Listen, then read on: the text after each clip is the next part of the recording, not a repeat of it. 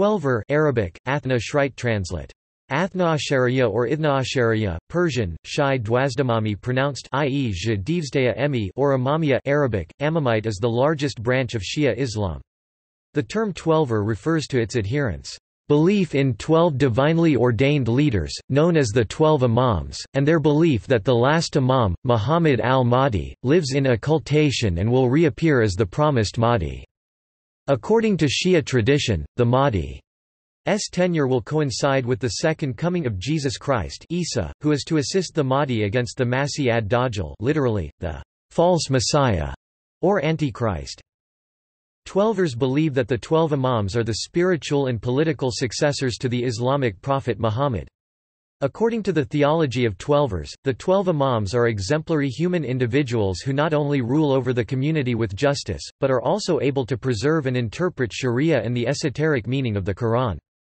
The words and deeds sunnah of Muhammad and the Imams are a guide and model for the community to follow. As a result, Muhammad and the Imams must be free from error and sin, a doctrine known as isma or infallibility, and must be chosen by divine decree, or nas, through Muhammad. Twelver Shi'ism is the largest branch of Shia Islam, with about 85% of all Shias, or approximately 150 to 300 million Twelver Shias. Twelvers make majorities among Muslims in Iran, Azerbaijan, Iraq, Lebanon, Bahrain. Also, they make significant minorities in India, Pakistan, Afghanistan, Saudi Arabia, Yemen, Bangladesh, Kuwait, Oman, UAE, Qatar, Nigeria, Chad, and Tanzania. Iran is the only country with state religion as Twelver Shia Islam. Twelvers share many tenets of Shia with related sects, such as the belief in imams, but the Ismaili Shias believe in a different number of imams and, for the most part, a different path of succession regarding the imamate. They also differ in the role and overall definition of an imam. Twelvers are also distinguished from Ismailis by their belief in Muhammad's status as the seal of the prophets. Khatam an-Nabiyyin, in rejecting the possibility of abrogation of sharia laws, and in considering both esoteric and exoteric aspects of the Quran. Alevis in Turkey and Albania, and Alawites in Syria and Lebanon, share belief in the twelve imams with Twelvers, but their theological doctrines are markedly different. Topic: Terminology. Topic: The term Twelver is based on the belief that twelve male descendants from the family of Muhammad, starting with Ali ibn Abi Talib and ending with Muhammad al-Mahdi, are imams who have religious and political authority. The Twelvers are also known by other names. The Shi or Shi a is commonly used as a synonym for Twelvers since this branch comprises the majority group in Shia Islam. Shia refers to a group of Muslims who believe that the succession to Muhammad must remain in his family for specific members who are designated by a divine appointment. Tabataba'i states that the word referred to the partisans of Ali at the time of Muhammad himself. Ya. Fari refers exclusively to the Twelver juridical school which is followed by the majority of Shias. It also refers to the minority Akbaris who advocate a distinct juridical approach within Ya. Fari jurisprudence. The term is derived from the name of Ya. Far al-Sadiq who is considered by the Twelvers to be their sixth imam. Ya. Far al-Sadiq is also respected and referenced by the founders of the Sunni Hanafi and Maliki schools of jurisprudence. Imami or Imamiyya or Imamite is a reference to the Twelver belief in the infallibility of the Imams. Although the Ismailis also share the generic concept of imams, this term is exclusively used for the Twelvers who believe that the leadership of the community after Muhammad belongs to Ali and eleven subsequent successors that together comprise the fourteen infallibles.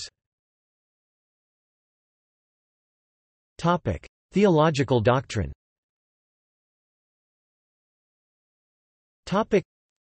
Twelver theology, which mainly consists of five principles, has formed over the course of history on the basis of the teachings of Quran, and hadiths from Muhammad and the Twelve Imams especially Jafar al-Sadiq, and in response to the intellectual movements in the Muslim world and major events of the Twelver history, such as the Battle of Karbala and the occultation of the Twelfth Imam, Muhammad al-Mahdi. It should be noted that mystics, philosophers, and traditional scholars all have diverse opinions about the unity of God, free will, and Judgment Day, as as stated by Jafar Sidon. Single quote, single quote.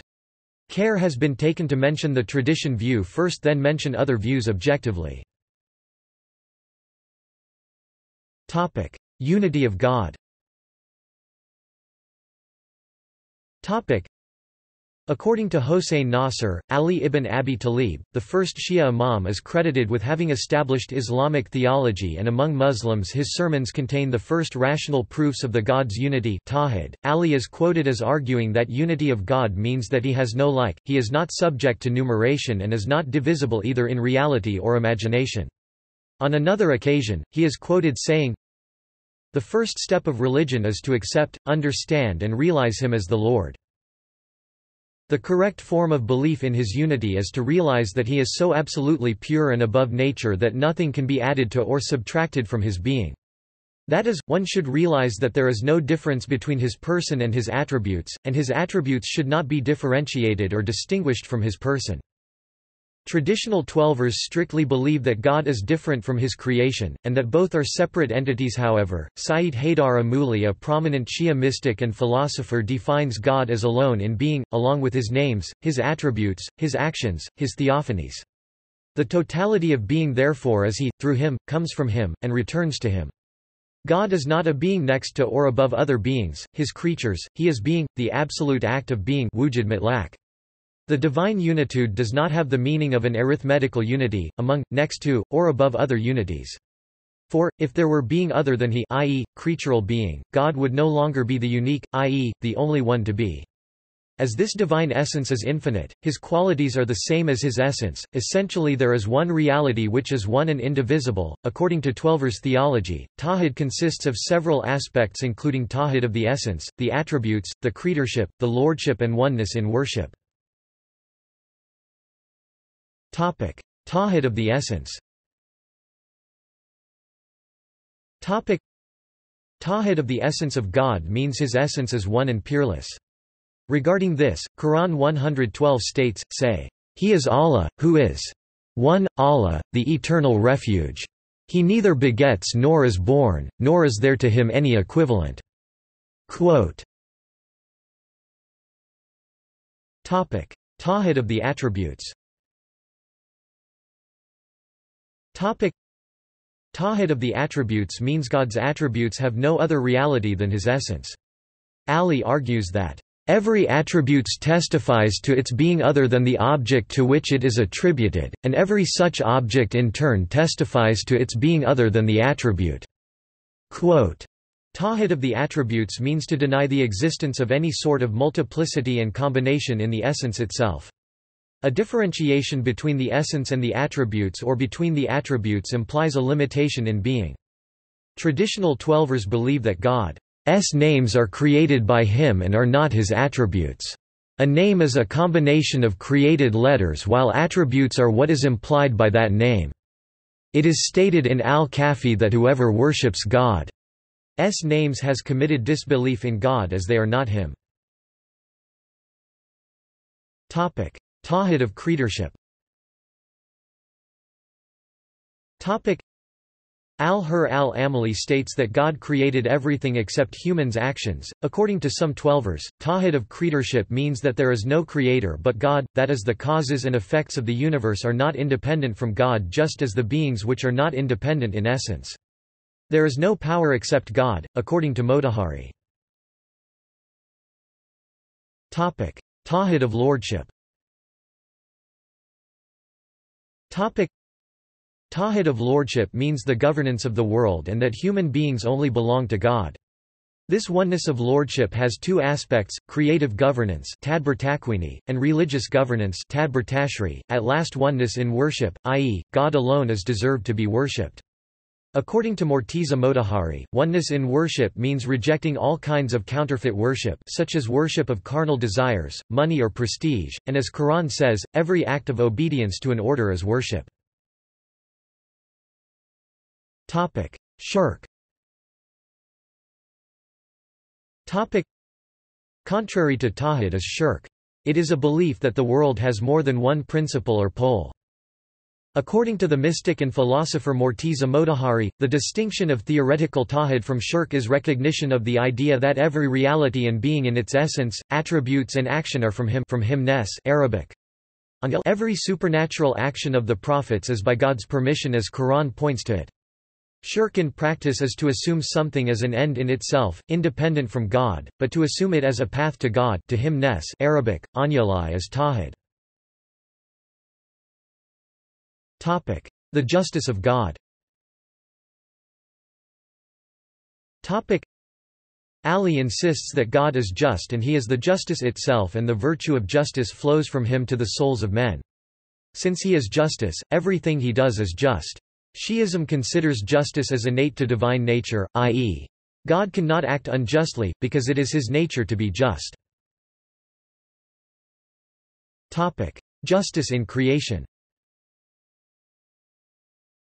Topic Twelvers believe that God grants every existent what is appropriate for it as the verse 2050 states, Our Lord is he who gave unto everything its nature, then guided it aright. Topic. Justice in religious dispensation Topic. God guides each human through sending messengers and he does not impose upon them obligations that are beyond their capacity. Topic: Justice in recompense. Topic: Tabatabai states that the justice of God necessitates that the virtuous and evil people become separated, the virtuous have a good life and the evil have a wretched life. He will judge the beliefs and the deeds of all the people according to the truth and he will give every one his right due. Then the reality of everything as it is will be revealed for the man. Through his faith and good deeds, he can get to friendship with God. The form of man's deeds are joined to his soul and accompany him which are the capital of his future life. The verse 96-8 refers to getting back to God. Predestination and free will. According to Twelvers, narrations, God does not create humans' actions and instead they are fully created by humans. According to a narration by Musa al-Qadim, if God created humans' actions then he should not punish humans for it. Jafar al-Subhani argues that the justice of God requires that humans' actions cannot be created by God, otherwise God would be a doer of evil actions. Predestination is rejected in Shi'ism, however, some philosophers believe that all the existence is his creation including a human being and his actions. But actions have two dimensions. The first is committing the action by free will, the second is the creation of that action by God's will with which he gave the people the power to commit the action. Sadr al-Din Shirazi states that God, may he be exalted, is far removed from doing any evil deeds and goes about his kingdom at will. The view that God creates humans' actions is rejected by traditional Twelvers.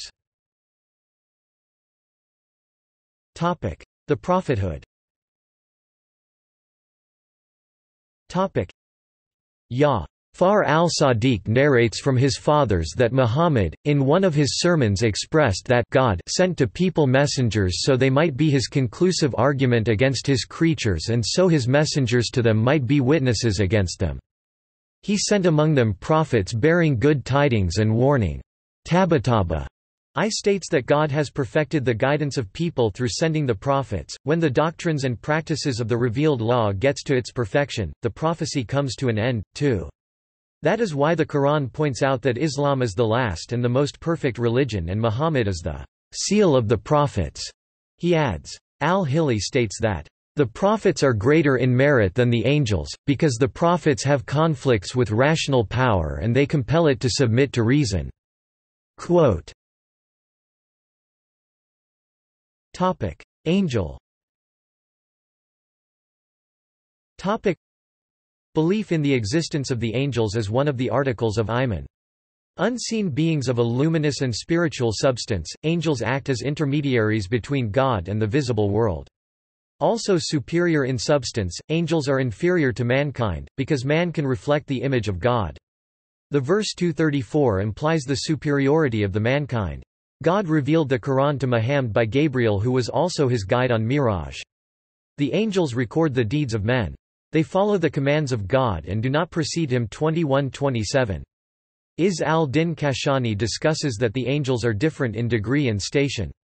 Some of them cling to the threshold of perfection, others manage the affairs of the creation. Al-Qazwini, on the base of Quran and Hadith, names them as the bearers of the throne, the Spirit, he governs all the affairs of the earth and heaven according to the principle of creation. Israfil, he places the spirits in the bodies and will blow the trumpet on the last day. Gabriel, who took the revelation to Muhammad. Michael, Azrael, the angel of death. The cherubim all who just praise God. The angels of seven heavens and the guardian angels, two of them are concerned with men. The attendant angels, they bring blessings upon human. Munkar and Nakir who question the dead in the grave. The journeyers, Harut and Marut are also among them. Topic. Revelation Tabatabai expresses that according to the thesis of general guidance, as the human reason cannot perceive the perfect law of happiness saw.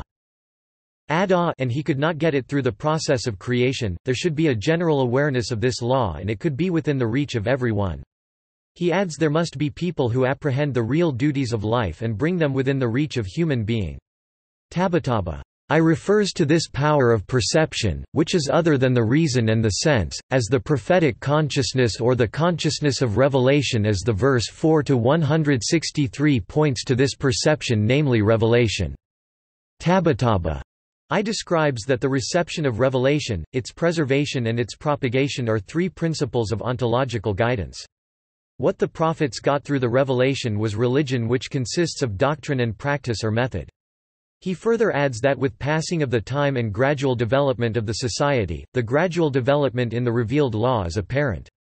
By three ways the speech of God reaches to man, by revelation or divine inspiration, behind a veil, man can hear God's speech but cannot hear him, or by a messenger, an angel conveys the inspiration to the man. By the verses 72 to 26-28 two types of guardians protect the integrity of the revelation, an angel who protects the prophet against any kind of error, God who protects the angels and the prophets. Topic: Miracle Tabatabai I defines the miracle as a supernatural event which is shown by the Prophet and the friends of God as a challenge to prove the claim of the prophethood and it is by God's permission. He states that the miracle should be according to the demands of the people of his own time. He adds that miracle has an inseparable connection with the claim of the prophethood and it is beyond the intellect and thinking. By miracle, al-Hili means the bringing into existence of something which is abnormal or the removal of something which normally exists, in a way which breaks through normality and which conforms to the claim of prophethood which is made." Quote, Sobhani regards some differences between miracles and extraordinary acts. He notes that miracles are not teachable and they are done without any prior training.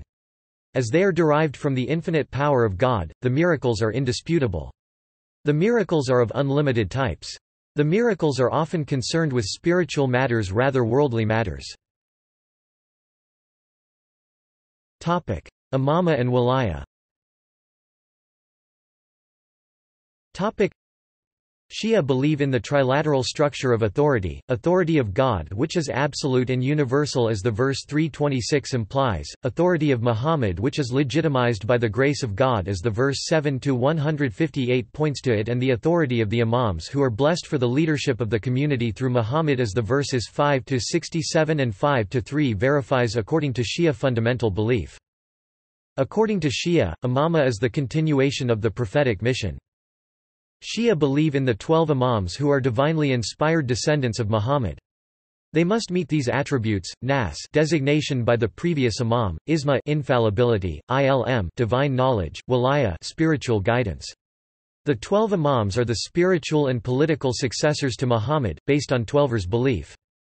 It is believed in Shia Islam that Aql, a divine wisdom, was the source of the souls of the prophets and imams and gave them esoteric knowledge, called hikmah, and that their sufferings were a means of divine grace to their devotees.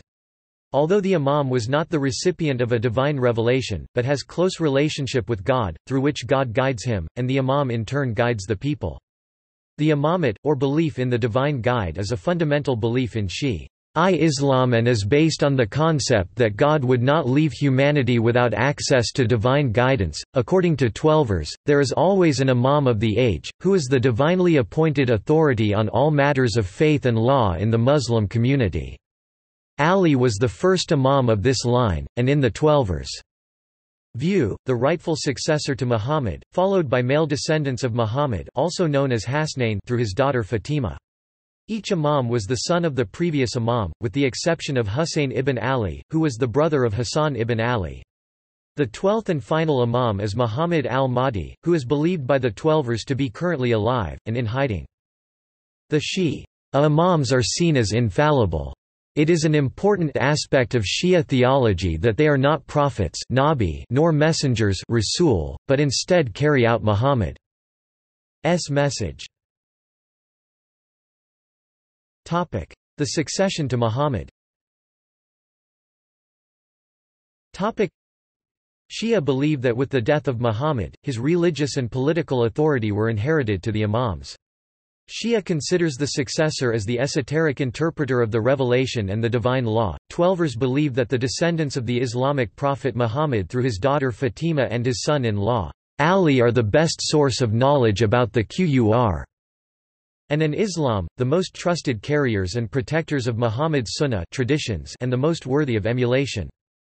In particular, Twelvers as the main branch of Shia Islam, with 85% of all Shias recognize the succession of Ali, Muhammad's cousin, son-in-law, the male head of the Al al-Bayt or people of the Prophet's house, and the father of Muhammad's only bloodline, as opposed to that of the caliphate recognized by Sunni Muslims. Twelvers also believe that Ali should have been successor to Muhammad. Although Ali is widely accepted by Muslims in general to be the fourth successor to the caliphate after Uthman, for the Shi. Ah, however, he is the first divinely sanctioned imam, or divinely appointed spiritual leader after Muhammad. The seminal event in Shi'a history is the martyrdom in 680 CE of Ali's son Husayn, who led an uprising against the then, illegitimate to them, caliph. For the Shi'a, ah, Husayn came to symbolize resistance against tyranny. Regardless of the dispute about the caliphate, Twelvers recognize the religious authority of the Twelve Imams, also called Khalifa Ilahi. Ziyarat and Tawassul Ziyara literally, visit is a religious practice which means to attend before religious leaders or their graves in order to express and indicate reverence, love and acquire spiritual blessings. Tawassul is an Arabic word originated from wasala wasalat Arabic. Whistle. The wasila is a means by which a person, goal or objective is approached, attained or achieved, by Shia. To take advantage of factors to attain the goals is natural but these factors should not be taken as independent from God and should have been established in the Quran and Hadith. This means can be anything which causes drawing proximity to God such as prayer, almsgiving. Isma In Shia theology isma means impeccability, immunity to sin, and infallibility. Quote, when isma is attributed to human beings, the concept means the ability of avoiding acts of disobedience, in spite of having the power to commit them, as in prophets and imams, isma is a divine grace realized by God. S preservation of the infallible, first by endowing them with pure constitution then, following in order, by blessing them with great excellences, giving them firm will against opponents, sending tranquility down upon them as sakina, and preserving their hearts and minds from sin. According to the theology of Twelvers, the successor of Muhammad is an infallible human individual who not only rules over the community with justice, but also is able to keep and interpret the sharia and its esoteric meaning. The words and deeds of Muhammad and the Imams are a guide and model for the community to follow, therefore, they must be free from error and sin, and must be chosen by divine decree, or nas, through Muhammad. According to Twelver Shia, the Islamic prophet Muhammad, his daughter Fatima Zahra, and the Twelve Imams are considered to be infallible under the theological concept of isma. Accordingly, they have the power to commit sin but are able to avoid doing so by their nature the infallibles are believed to follow only God's desire in their actions, because of their supreme righteousness, consciousness, and love for God. They are also regarded as being immune to error, in practical matters, in calling people to religion, and in the perception of divine knowledge. Shias believe that the fourteen infallibles are superior to the rest of creation, as well as to the other major prophets. From historical viewpoint, Wilferd Madelung claims that the purification of all al-Bayt, the family of Muhammad, is guaranteed by the verse of purification in the Qur. And, Donaldson in his argument believed that the development of the Shi ite theology in the period between the death of Muhammad and the disappearance of the twelfth Imam originates the concept of isma which adds to its importance. Anne Lambton claims that neither the term nor the concept of isma is in the Qur and or in canonical Sunni hadith. It was apparently first used by the Imamiyya, perhaps during the beginning of the second century of the Islamic calendar in which they maintained that the imam must be immune from sin ma. Some According to Hamid Algar, the concept isma is encountered as early as the first half of the second century of the Islamic calendar. The Shia scholars of the 4th and the 5th centuries of the Islamic calendar defined the infallibility of Muhammad and the twelve imams in an increasingly stringent form until the doctrine came to exclude their commission of any sin or inadvertent error, either before or after they assumed office. The occultation According to Twelvers, the conditions under the Abbasids caused Hassan al-Askari to hide the birth of his son, al-Mahdi. The occultation is a controversial concept. Shia sects like the Zaydi and Nizari Ismaili do not believe in the idea of the occultation. Topic: The Day of Resurrection. By Shia theological doctrine, since the people have come from God, they will go back to God, and it is related to people's reaction to the prophecy. They argue that according to the Quran, 23-115, God, whose actions are the absolute truth, does not create a man without any purpose while the quality of this world makes the recompense impossible, the justice of God necessitates that every one be recompensed according to his own actions. Tabataba I describes the death as a transfer from one stage of life to another eternal stage. The verse 2147 points to the precision of the scales of justice by which the deeds and intentions of people are weighed. The return Raja. Twelvers believe in the return. The term refers to the revival of a group of Muslims back to this world after the appearance of Mahdi. The base of this belief derives from the revival of the dead in the past communities as mentioned in the Quran and the revival at the day of resurrection. Sobhani describes that resurrection is both of body and spirit. Quran 1751, in response to those that ask, Who will restore us? answers, He who brought you forth the first time. Quote, in another place, verse 22 to 5-6, it is like the revival of the earth in the season of the spring after the winter. He adds the verse 36 to 79 implies that the person who is raised up at the resurrection is the one who was alive on the earth. The purpose of the resurrection of the body and rejoining the soul is that it experience the rewards and punishments which are sensible and they cannot be experienced with the lack of the body. The purpose of spiritual resurrection is to observe those rewards and punishments which are especial to the spirit. Topic: The Day of Judgment. God will resurrect all human beings and they will stand before God to be questioned about their lives on the world. On this day people are two groups, people who receive their book by their right hand who are the people of paradise and their face is bright and the people who receive their book by their left hand who are the people of hell and their face is dark. As the verse 41-21 points out, on the day of judgment, the ears, eyes and skin of disbelievers will testify against them saying, Allah has caused us to speak, He causes all things to speak. Intercession Belief to the intercession derives from the Quran, 21-28, 10-3, 53-26 and Sunnah. Muhammad, the angels 53-26, imams and martyrs are among the intercessors by God.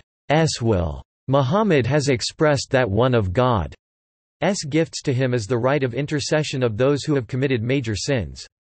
As Quran represents the sons of Jacob asked their father to intercede for them and their father promised to them that he will do it at the promised time. Sharia Furu al-Din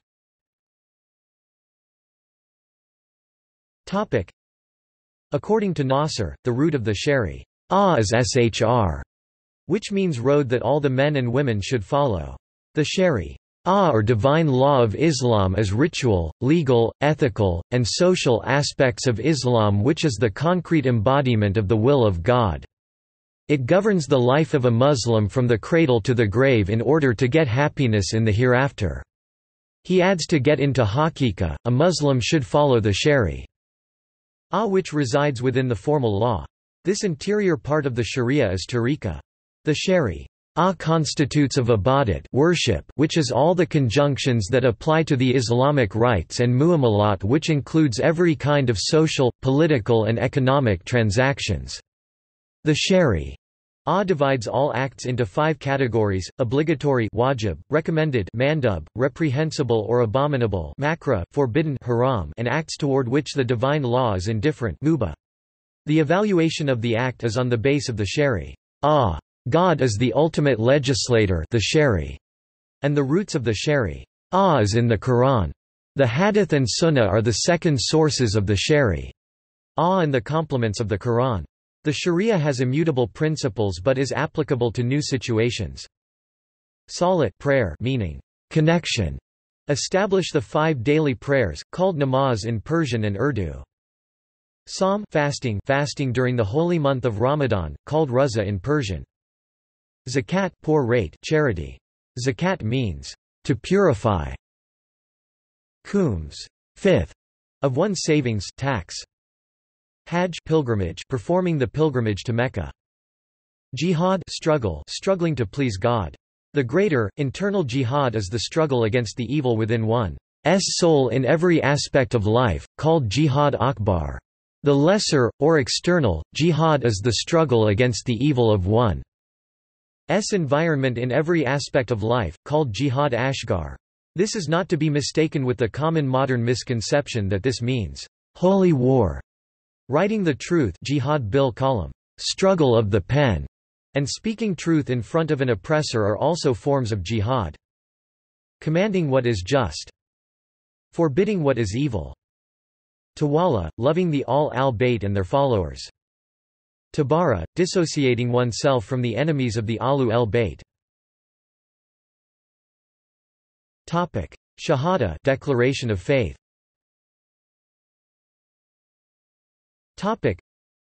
While sharing the unity of God and the divine guidance through his messenger Muhammad, Shia maintain that for the spiritual and moral guidance of the community, God instructed Muhammad to designate Ali as the leader of the community which was made public at Ghadir Khumm. Twelvers, along with Sunnis, agree that a single honest recitation of the Shahada in Arabic is all that is required for a person to become a Muslim according to most traditional schools. A vast majority of Twelvers often add Aliyan Waliyu el-Law, Ali is the vicegerent of God, at the end of the Shahada. This testifies that Ali is also the leader of the believers along with God and Muhammad, proof of which she, a theologians find in the Qur and Quran 555 though this form of the Shahada is recited daily by other Shia sects such as the Nizari Ismailis and Tayyabi, Twelvers view it as mustahab recommended, but not wajib obligatory. Topic: Prayer. Topic: The canonical prayers are the most central rite of Islam which is incumbent on all Muslims, both male and female, from the age of adolescence until death. The prayers must be performed in the direction of the Kaaba in Mecca five times a day, in the early morning, between dawn and sunrise, at noon, in the afternoon, at sunset, and at night before midnight. The call to prayer and ritual ablution are preceded before the prayer and it can be performed on any ritually clean ground whether outdoors or indoors as long as one has the permission of the owner. The units of prayer are two in the morning, four at noon, four in the afternoon, three in the evening, and four at night. Shia perform prayers on special occasions like fear, joy, thanksgiving and at the pilgrimages and at the end of Ramadan. There are minor differences between Sunnis and Twelvershisha in how the prayer ritual is performed. During the purification ritual in preparation for prayer which consists of washing the face, arms, feet, etc. and saying of some prayers, the shisha view wiping the feet with wet hands as sufficient. Also, shisha do not use their fingers to clean inside the ears during the ablution ritual. A prerequisite for purification is that one has to be clean before performing the purification ritual. During prayer, it is the Ja'fari view that it is preferable to prostrate on earth, leaves that are not edible or wood, as these three things are considered purest by Muhammad in hadith specifically mentioning tayammum. Hence many shisha use a turba, a small tablet of soil, often taken from the ground of a holy site, or wood during their daily prayers upon which they prostrate. In the Ja'fari view, the hands are to be left hanging straight down the side during the standing position of the prayer. The Ya'fari consider the five daily prayers to be compulsory, though the Ya'fari consider it acceptable to pray the second and third prayer, and the fourth and fifth prayer, one after the other during the parts of the day where they believe the timings for these prayers to overlap. Fasting Nasr describes that fasting is abstaining oneself from food, drink and sexual intercourse from the dawn to the sunset during the month of Ramadan. The fast also requires the abstaining one's mind and tongue away from evil thoughts and words. It is obligatory from the age of adolescence until the time one possesses the physical strength to undertake it. The fast is not obligatory for the sick, those traveling and breastfeeding mothers, but they must make up the lost days when possible. According to Tabatabai, a. Arabic, al-sam fasting means to abstain oneself from something, which later in the development of the religion was applied to abstaining from some particular things, from break of dawn up to sunset, with intention Fasting results in piety i.e., to abstain oneself from gratifying worldly matters, results in the perfection of the spirit. He adds, one should care about matters which take him away from his Lord, this is called piety. This abstinence from common lawful things causes him to abstain from unlawful things and to come nearer to God. The end of Ramadan comes with the prayer of the Eid after which a sum of money equal to the cost of all the meals not eaten by oneself and one's family during this month is usually given to the poor. Khums and Zakah The term zakah is related to the purity in Arabic. It is the annual taxation of one's excess wealth at certain rates for different valuables. It is a form of social welfare program, by which wealth is redistributed and the accumulation of wealth in the hands of a small elite prevented. It is also seen as a ritual purification of one's wealth. Khums, khames meaning one-fifth, is an annual tax of one-fifth which is levied on net income after paying all expenses. This tax is to be spent on Muhammad, his family, orphans, the needy and the travelers. Half of the khums is the share of the imam which is his inheritance from Muhammad and at the absence of imam, it is paid to marja. As the representative of imam, the items which are eligible for khums are seven. The profit or the surplus of the income. The legitimate wealth which is mixed with some illegitimate wealth. Mines and minerals. The precious stones obtained from sea by diving. Treasures. The land which a dhimmi kafir buys from a Muslim. The spoils of war. Khums is mandatory on seven assets, earned profits, net income after paying all expenses. Zakat or alms is levied on crops, livestock, gold, silver and cash. In Islamic legal terminology, it means one-fifth of certain items which a person acquires as wealth, and which must be paid as an Islamic tax. According to Shia, the items eligible for khums are referred to as ghanima in the Quran. The Arabic word ghanima has two meanings. Spoils of war, or war booty. Gain or profit The Sunni translate this word exclusively as war booty, or spoils of war. The Twelvers hold the view that the word ghanima has two meanings as mentioned above, the second meaning is illustrated by the common use of the Islamic banking term al-ghanam bil meaning, gains accompany liability for loss or risk. Also, in a famous supplication, the supplication after the noon prayer, the person asks God to bestow on him his favors. One of those favors which the person asks is the benefit or gain from every act of righteousness. The word used here is al ghanima. Walghanimata min kuli bir. This is in accordance with the second meaning of the word. Topic: Hajj. Topic: Hajj is the supreme pilgrimage of the Muslim to the Kaaba. Ba in Mecca. This rite involves circumambulation around the Kaaba, certain movements, prayers, and the sacrifice of an animal in Mecca and adjoining holy areas according to Sunnah. Muslims believe that if the Hajj was performed by sincerity, their sins will be forgiven by God. It is performed in the month of Dhu. El-Hijjah and is obligatory for all the Muslims who possess physical and financial ability. There is also lesser Hajj or Hajj al. Umrah which is performed on the remaining of the year. Jihad According to Nasr, jihad literally means effort but in the path of God in the whole of life.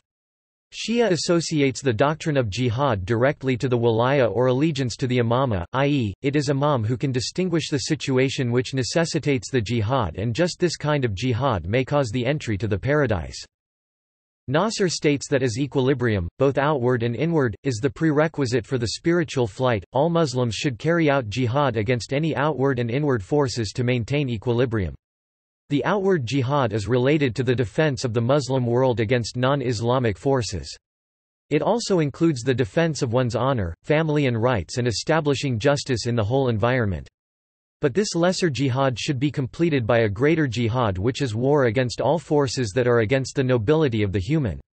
He adds that from the spiritual point of view all the pillars of Islam like shahada, prayer, are the weapons for the practice of this inner jihad. So inner jihad is the path for the realization of the one who is the ultimate message of the Islam. This inner jihad continues until every breath of man echoes that reality who is the origin of everything and all things return to him. Nasr adds that every religious deed is jihad because it is a striving between one's passionate soul and the demands of the immortal spirit. Islam sees jihad as a care against everything which distracts one from God. Shia believe that jihad as defense is legitimate not as aggression.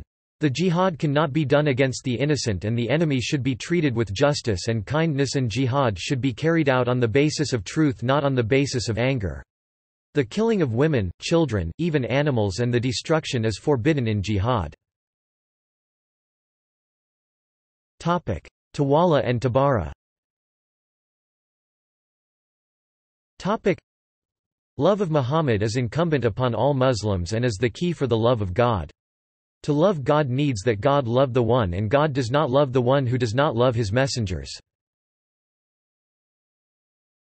Topic. Commanding what is just and forbidding what is evil Topic. in addition to leading a virtuous life, a Muslim should enjoin all other Muslims to do the same and to avoid all vices prohibited. Topic: Differences. Topic. Topic: Dissimulation taqiyya. Topic. By Shia, acting according to religion is incumbent on every one, but if the expression of a belief endanger one's life, honor and property, he can conceal his belief as the verse 16-106 implies. It is as a weapon for the weak before the tyrants. If dissimulation cause the disappearance of the religion or the fundamentals of the religion, it is forbidden and Muslims are to give up their lives but if there is no advantage in their being killed, it is to dissimulate. There is no place for dissimulation regarding the teaching of the doctrines of the religion.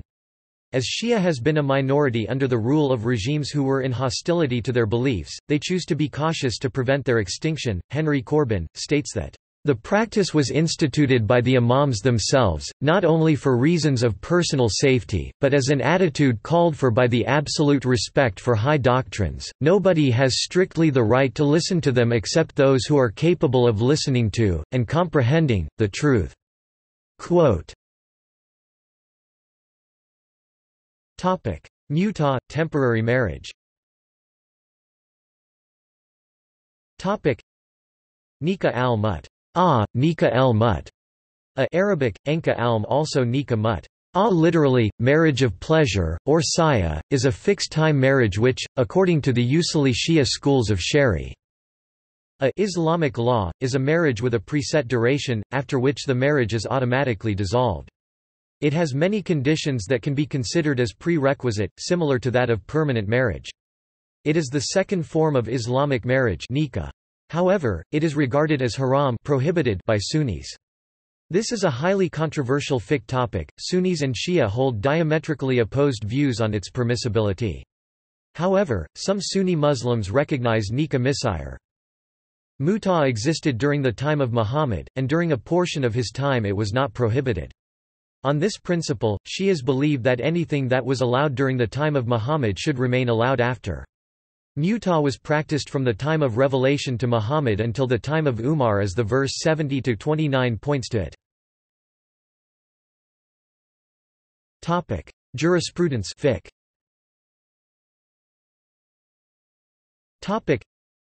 According to Ya.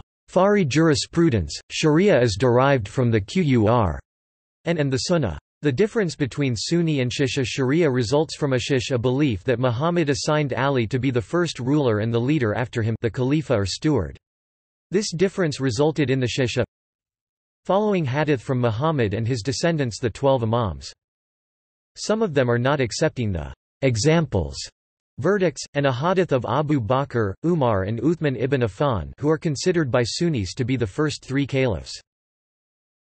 Attributing the concept of the Masum infallibility to the twelve Imams or the fourteen infallibles including Muhammad and his daughter Fatima and accepting the examples and verdicts of this special group. Akhbari and Usuli schools Rejecting the function of the Mujtahid, comparing to the authority of Imam, Mullah Muhammad Amin al-Astarabadi d. 1626–27 knew the Mujtahid unnecessary as the people themselves following the instructions of the Imam which is sufficient for the guidance of the Shia. Akhbaris only rely on the hadith of the Prophet and the Imams. Knowing them as non-systematic and purely doctrinal without tolerating the rational judgment, Usulis depicted themselves as a living continuous leadership of the believers with flexibility regarding legal and especially political questions.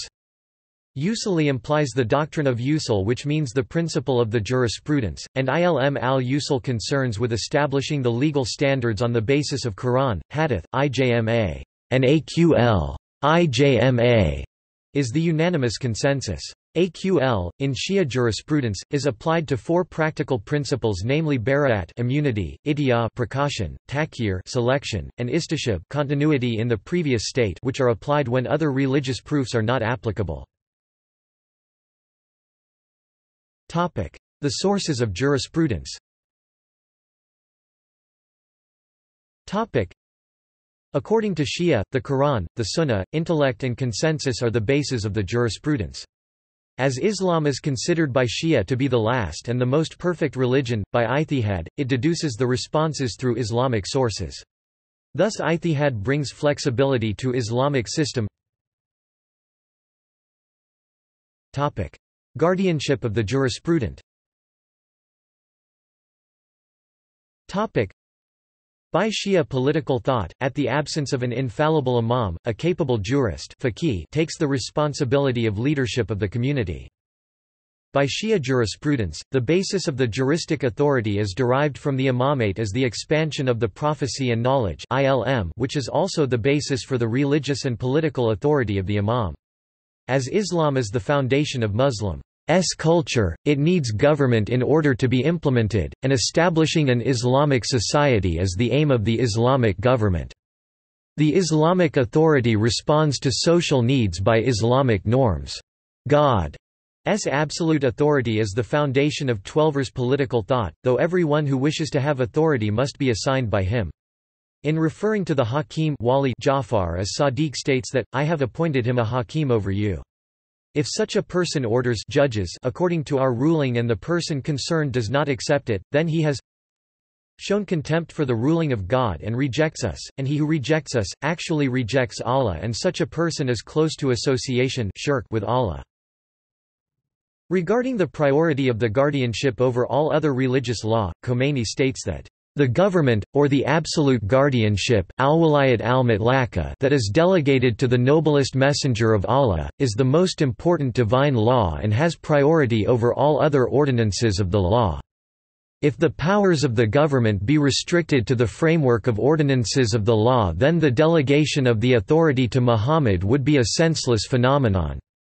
Quote, Sheikh al-Saduq and Sheikh al-Tusi transmit the hadith that Muhammad al-Mahdi, in response to Ishaq ibn Yaqub, through Muhammad ibn Uthman al-Umari expresses that, as for the events that may occur al al when you may need guidance refer to the transmitters of our teachings who are my hujjah proof to you and I am the proof of God to you all. Ya Afar al-Sadiq, pointing to verse 4–60, forbids referring to tyrannical government for all the times. Quote, in fact, the idea of jurist authority is based on the belief that establishing an ideal society without any aid from God's revelation, is not possible. According to Twelvers, juristic authority emphasizes on the role of sharia in society. According to al-Murtaza, on certain conditions holding office on behalf of the true leaders is obligatory, to enable the office to order what is right and forbid what is wrong, to protect the Shi'ites, the Shi'ites are threatened to death, otherwise. Traditionally Twelver shi. A Muslims consider Ali ibn Abi Talib and the subsequent further eleven imams not only religious guides but political leaders, based on a crucial hadith where Muhammad passes on his power to command Muslims to Ali. Since the last imam, Muhammad al-Mahdi, went into occultation in 939 and is not expected back until end times, this left Shia without religiously sanctioned governance. The first Shi a regime, the Safavid dynasty in Iran, propagated the Twelver faith, made Twelver's law the law of the land, and patronized Twelver scholarship. For this, Twelver Ulema crafted a new theory of government, which held that while not truly legitimate, the Safavid monarchy would be blessed as the most desirable form of government during the period of awaiting. For Muhammad al-Mahdi, the twelfth imam, in general, the Shi adhere to one of three approaches towards the state, either full participation in government, i.e., attempting to influence policies by becoming active in politics, or passive cooperation with it, i.e. minimal participation, or else most commonly, mere toleration of it, i.e. remaining aloof from it. This changed with Iranian Revolution where the Twelver Ayatollah Khomeini and his supporters established a new theory of governance for the Islamic Republic of Iran. It is based on Khomeini's theory of guardianship of the Islamic jurist as rule of the Islamic jurist, and jurists as legatees of Muhammad. While not all Twelver Shi accept this theory, it is uniquely Twelver and the basis of the constitution of Iran, the largest Shi. A Muslim country, where the supreme leader must be an Islamic jurist. Ijtihad and taqlid accepting a scholar's verdict. Topic How to associate with a religious and judicial problem that its answer is not in the Quran and Hadith. Regarding ijtihad, Halm explains that while the religious material are limited, what procedure should be taken if a problem arises. Here human reason comes in, God gave reason to human to discover his will.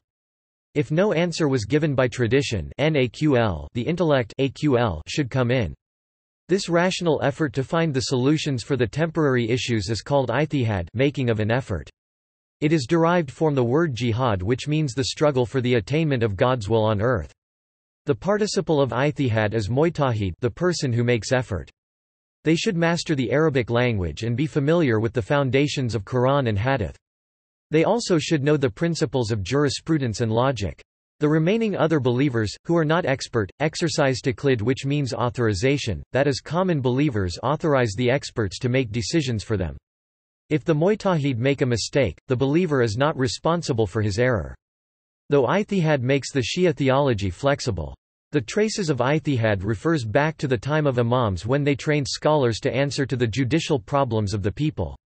As al-Baqir said to Aban ibn Taghlib, sit down at the door of the mosque and pronounce fatwa judgment to the people. Quote, According to Nasr, the Mujtahids acted as the guard against tyrannical government and they had religious and social functions. Al-Karaki narrates a hadith from his teachers that the scholar is the guardian of the religion, successor of the imam and he should draw conclusions from the sources by the reasoning. History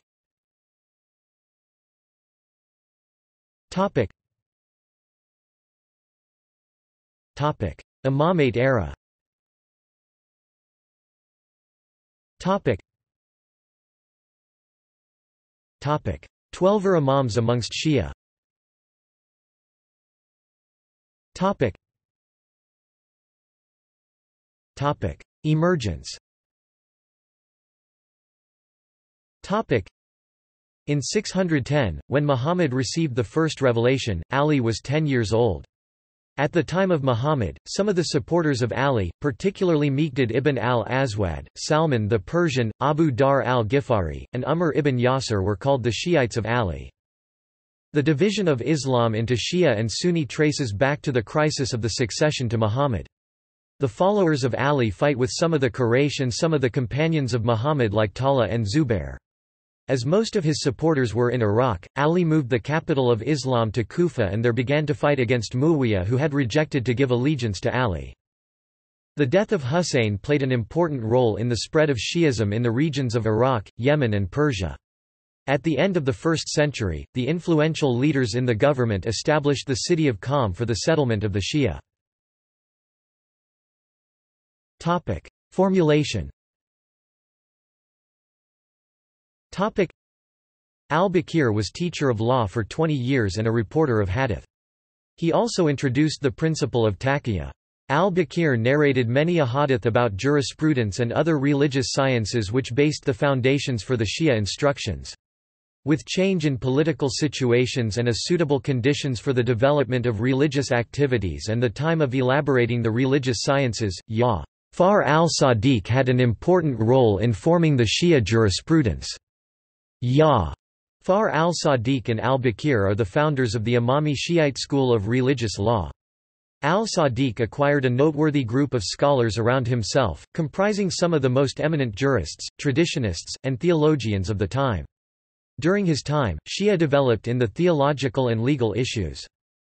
Both Muhammad al-Baqir and Jafar al-Sadiq improved the position of the Shia and elaborated the intellectual basis of the interpretation and practice of Shiite Islam. Their teachings were the basis for the development of Shiite spirituality and religious rituals. Organizing at the beginning of the 3rd, 9th century once again Shia flourished and it was due to the translation of scientific and philosophical books from other languages to Arabic, al-Ma Mun giving freedom to the propagation of different religious views and his interest in intellectual debates. Under the rule of al-Ma Moon, Shia was free from the political pressures and was somehow at liberty. In the 4th, 10th century, the weaknesses in the Abbasid government and coming up the Buyid rulers caused the spread, strength and open propagation of the Shi'ism. From the 5th, 11th to the 9th century many Shia kings appeared in the Islamic world who propagated the Shi. Ism Topic: Crisis and consolidation. Topic.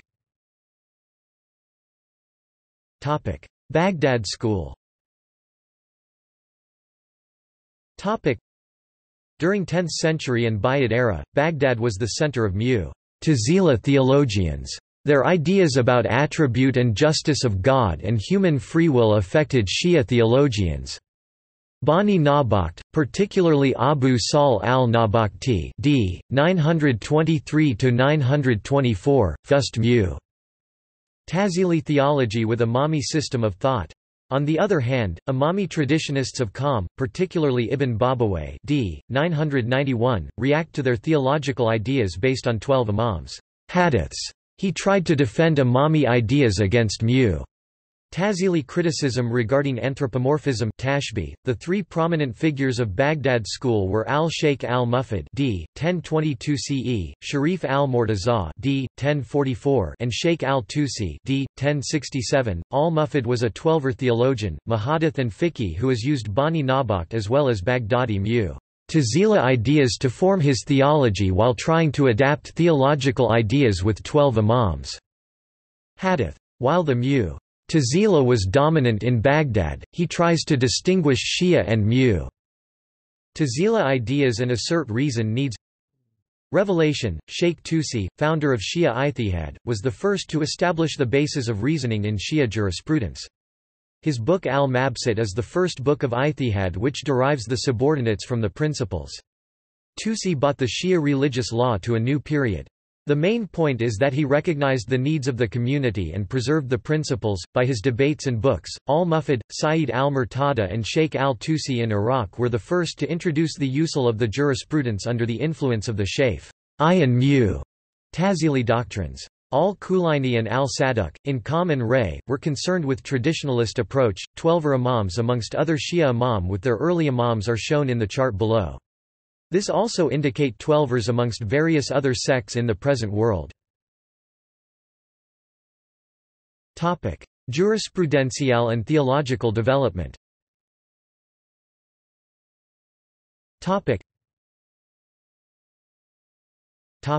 School of Hilla.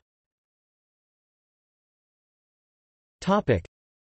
The beginner of this school, Ibn Idris al-Hilli d. 1202, with his rationalistic tendency, detailed Shi ite jurisprudence in his al-Sara. Ir. Ibn Idris, with rejecting the validity of the isolate hadith, states rational faculty AQL as the fourth source of law in deducing legal norms before Quran and hadith. But real Usuli doctrinal movement began by al-Muhaqqiq al-Hilli d. 1277 who brought up Ijtihad and Qiyas analogy to jurisprudence.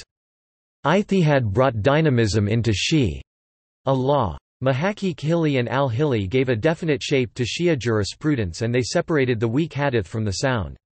According to John Cooper, after al-Hilli, Imami theology and legal methodology became thoroughly infused with the terminology and style of philosophy. In 1256, the Abbasid dynasty collapsed with the invasion of Mongols to Baghdad.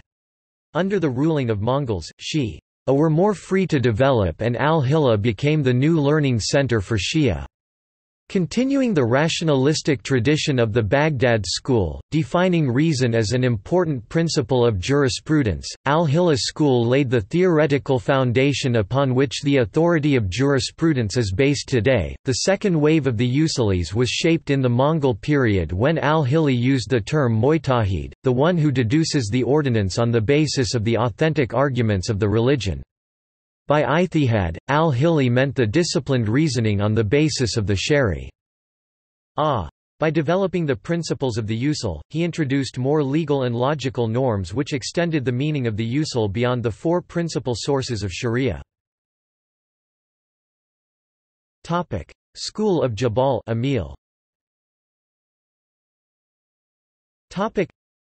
Amili was the first who fully formulated the principles of the Ijtihad. Topic: Rising to power. Topic. Topic: School of Isfahan. Topic: In 1501 Ismail I took the power in Iran and set up the Safavid dynasty. While most of the larger cities of Iran were Sunni, he declared Twelver Shi. Ism is the official religion of his empire. Many Shia scholars were brought to set up the Shia seminaries in Iran. One of those was Karaki who stated that, for the interest of Ummah, it is necessary for a Shia scholar to be a legitimate leader to carry out the tasks of the imam who is hidden. Under Safavids, religious authorities Sheikh al-Islam were appointed for all major cities. Karaki established a great seminary in Qazvin and Isfahan, consequently, Iran once again became center of Imami jurisprudence. Suhrawardi tried to harmonize rational philosophy and intellectual intuition, but Mir Damad is the founder of it. Mir Damad combined the teachings of Ibn Arabi, Suhrawardi, Ibn Sina and Nasir al-Din and founded a new intellectual dimension in the texture of Shi'ism. The scholars of the school of Isfahan integrated the philosophical, theological, and mystical traditions of Shi'ism into a metaphysical synthesis known as divine wisdom or theosophy Persian, Hikmat i The most important representative of the school of Isfahan was Mullah Sadra. Mullah Sadra produced his own synthesis of Muslim thought, including theology, peripatetic philosophy, philosophical mysticism, and Sufi studies, particularly the Sufism of Ibn al Arabi. Mullah Sadra trained eminent students, such as Mullah Muhsin Kashani and Abd al-Razak Lahiji who passed down the traditions of the school of Isfahan in later centuries in both Iran and India. Akhbari Usuli controversies by the end of the Safavid era 1736, the Usuli school suffered by the Akhbari traditionalist trend which Mullah Muhammad Amin al-Astarabadi was its founder. Astarabadi attacked the idea of ijtihad and called the Usulis as the enemies of religion.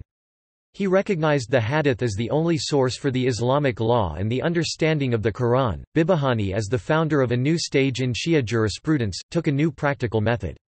He attacked the Akhbaris and their method was abandoned by Shia. The dominance of the Usuli over the Akhbari came in last half of the 18th century when Muhammad Bakir Behbahani led Usulis to dominance and completely routed the Akhbaris at Karbala and Najaf, so that only a handful of Shia ulama have remained Akhbari to the present day.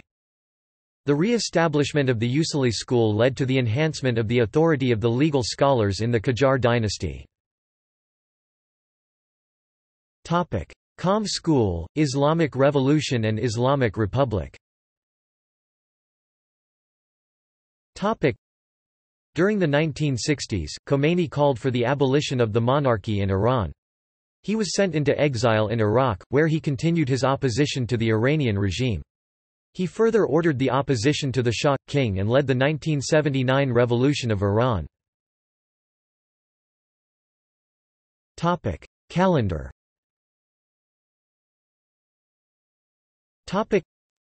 Twelver Shia, celebrate the following annual holidays Eid ul-Fitr, Id al-Fitr which marks the end of fasting during the month of Ramadan and falls on the first day of Shawwal. Eid al-Adha, which marks the end of the Hajj or pilgrimage to Mecca, starts on the tenth day of Dhu al-Hijjah. The following holidays are observed by Twelvers Shias, unless otherwise noted the mourning of Muharram or remembrance of Muharram and Ashura Ashura for Shia commemorates Imam Husayn ibn Ali's martyrdom in the Battle of Karbala. Imam Husayn was grandson of Muhammad, who was killed by Yazid ibn Muawiyah, the second caliph of the Umayyad Caliphate and the first one by heredity. One group of Sunni scholars have deemed Yazid to be a kafir e.g. Sunni scholar Ibn Jawzi in Wafa al-Wafa. Sunnis also commemorates Imam Husayn ibn Ali. S martyrdom, but do not engage in the spectacle conducted by Shi. As Arba een Arabic word for 40 commemorates on 40th day of Imam Husayn. S martyrdom 40th day is an auspicious day for any deceased as per Islam remembering the suffering of Imam Hussein and his household, the women and children. After Hussein was killed, they were marched over the desert, from Karbala central Iraq to Sham Damascus, Syria. Many children some of whom were direct descendants of Muhammad died of thirst and exposure along the route. Arba'in occurs on the 20th of Safar, 40 days after Ashura. Milad al-Nabi, Muhammad's birth date, is celebrated by the Shia on the 17th of Rabi. Al-Awwal, which coincides with the birth date of the sixth Imam, Jafar al-Sadiq. Mid-Shah. Aban is the birth date of the twelfth and final Imam, Muhammad al-Mahdi. It is celebrated by Twelvers on the 15th of Shah. Aban. Many Shia fast on this day to show gratitude. Eid al-Ghadir celebrates Ghadir Khumm, the occasion when Muhammad announced Ali's imamate before a multitude of Muslims. Eid al-Ghadir is held on 18 Dhu al-Hijjah. Al-Mubahila celebrates a meeting between the Ahl al-Bayt household of Muhammad and a Christian deputation from Najran. Al-Mubahila is held on 24 Dhu al-Hijjah. Topic: Notable scholars. Topic: Topic: Historical. Topic. Topic. See also. Topic. Bada. Shia Islam. Ismaili. Zaydiya. Persecution of Shia Muslims. List of Shia Islamic dynasties. List of Shia books. List of Shia Muslims flags List of Shia Muslims List of Shia Muslim scholars of Islam Topic. Notes Topic. Topic. Footnotes Topic. Topic. Further reading Topic. The book, Dur-e Mansour Dar Halat-e Ulama-e Zanjapur. The book, Matla-e Anwar, by Maulana Mortaza Hussain Sadrullah Faisal. The book, Khurshheede Kawar, by Maulan Saeed Akhtar Gopalpuri. The thesis on Life of Jawad ul Ulama Research work of Dr. Anayat Ali Aligarh Muslim University The booklet, Haknuma, published Jamia Amania, Banaras. References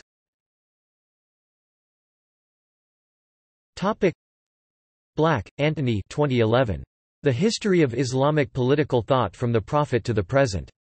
Edinburgh, Edinburgh University Press. ISBN 978-0-7486-3987-8. Campo, Juan E. 2009. Encyclopedia of Islam. New York, Facts on File. ISBN 978-0-8160-5454-1. Chelkowski, Peter 2009. Tazia. Encyclopedia Iranica. Retrieved 6 February 2015. Corbin, Henry 1993. History of Islamic Philosophy, translated by Liadain Sherard, Philip Sherard. London, Kegan Paul International in association with Islamic Publications for the Institute of Ismaili Studies. ISBN 0-7103-0416-1. Cornell, Vincent J. 2007. Voices of Islam. Westport, Kahn, Praeger Publishers. ISBN 978-0-275-98732-9. Dabashi, Hamid 1989. Authority in Islam, From the Rise of Muhammad to the Establishment of the Umayyads. New Brunswick, USA, Transaction Publishers. ISBN 978-0-88738-288-8. Daftary, Farhad 2013. A History of Shi'i Islam. ISBN 978-0-85773-524-9. Encyclopædia Britannica Online. Encyclopædia Britannica, Inc. Encyclopædia Iranica. Center for Iranian Studies, Columbia University. ISBN 1-56859-050-4. Encyclopedia of the Modern Middle East and North Africa. Gale Group, 2004. ISBN 978-0-02-865769-1. Farooqi, Kamal 1965. Tawhid and the Doctrine of Isma. Islamic Studies, 4 1, 31–43. JSTOR 20832784. Registration required help. Halm, Heinz, translated from the German by Allison 1997. Shia Islam, From Religion to Revolution 2, printing ed. Princeton, N.J., Markus Wiener Publishers. ISBN 978-1-55876-134-6. Kraemer, Joel L. 1992. Humanism in the Renaissance of Islam, The Cultural Revival During the Buyid Age. Brill. ISBN 978 90 4 09736 0 Lakhani, M. Ali, Shah Kazemi, Reza, Lewisohn, Leonard 2006. The Sacred Foundations of Justice in Islam, The Teachings of Ali ibn Abi Talib. World Wisdom, Inc. ISBN 978-1-933316-26-0. Leaman, Oliver 2008. The Quran, an Encyclopedia. London U. A. Routledge. ISBN 978 0 415 32639 Marcinkowski, Christoph 2010. Shiite Identities, Community and Culture in Changing Social Contexts. Berlin, Lit Verlag 2010. ISBN 978-3-643-80049-7.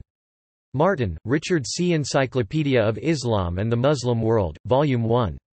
Macmillan. ISBN 978-0-02-865604-5. Martin, Richard C. 2003. Encyclopedia of Islam and the Muslim World online AUSG, ed. New York, Macmillan Reference USA. ISBN 978-0-02-865603-8. Momen, Muhsin 1985. An Introduction to Shi'i Islam, The History and Doctrines of Twelver Shi'ism. New Haven, Yale University Press.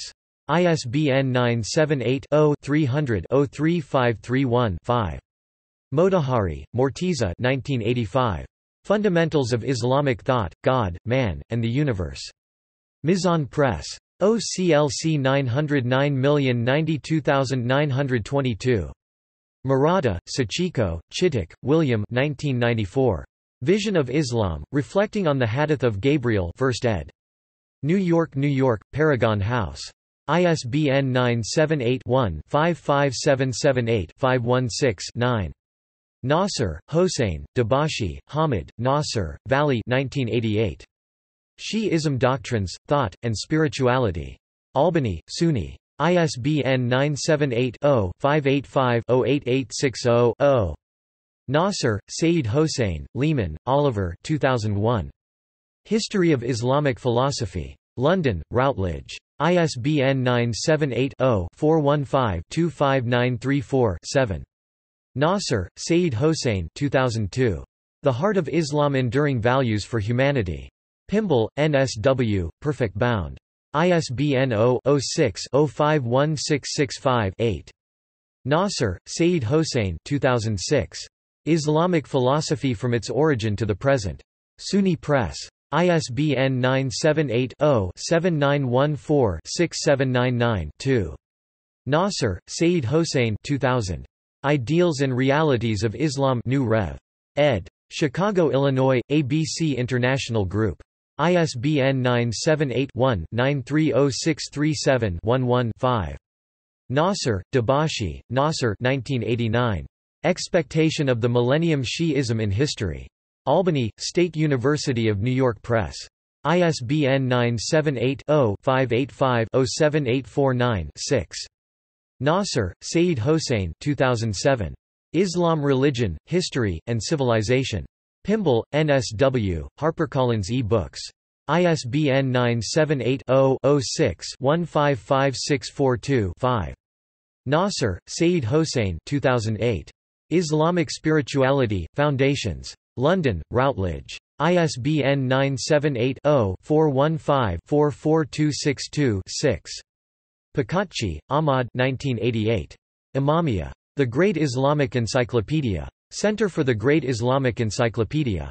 ISBN 978-964-7025-04-1. Rizvi, Saeed Muhammad 1992. Khums, an Islamic Tax. Ansarian. Rizvi, Saeed Muhammad 2004. Islam, Faith, Practice and History. Ansarian Publications. ISBN 978-964-438-620-6. Sachedina, Abdulaziz Abdul Hussein 1988. The Just Ruler al-Sultan al-Adil in Shiite Islam, the comprehensive authority of the jurist in Imamite jurisprudence, Oxford University Press U.S. ISBN 978-0-19-511915-2. Sobhani, Ya. Far, Shah Kazemi, Reza 2001. The Doctrines of Shi'ism, a Compendium of Imami Beliefs and Practices. I. B. Tauris. ISBN 978-1-86064-780-2. Tabatabai. A. Saeed Muhammad Hossein 1979. Shi. ITE Islam. Hossein Nasr translator. SUNY Press. ISBN 0-87395-272-3. Asterisk Tabataba'i, Saeed Muhammad Hossain 1982, Al-Mizan, An Exegesis of the Qur'an, 3. WOFIS. Tabataba'i, Saeed Muhammad Hossein 1983, Al-Mizan, An Exegesis of the Qur'an, 1. WOFIS. OCLC 311256759. Tabataba'i, Saeed Muhammad Hossain 1984, Al-Mizan, An Exegesis of the Qur'an, 2. WOFIS. Tabataba'i, Saeed Muhammad Hossain 1986, Al-Mizan, An Exegesis of the Qur'an. 6. WOFIS. Vaezi, Ahmad 2004. Shia Political Thought. London, Islamic Centre of England. ISBN 978-1-904934-01-1. Weiss, Bernard G. 2006. The Spirit of Islamic Law. University of Georgia Press. ISBN 978-0-8203-2827-0. External links Topic. Biggest Twelver video library. A brief introduction of Twelve Imams. A brief history of the lives of the Twelve Imams A chapter of Shia Islam book by Muhammad Hussein Tabatabai. 706 The Twelve Imams taken from A Shiite Anthology by Muhammad Hussein Tabatabai. A short history of the lives of the Twelve Imams. Ithna Ashariya An article by Encyclopaedia Britannica Online Al-Islam. Org, Ahlul Bayt Digital Islamic Library Project Twelver Media Source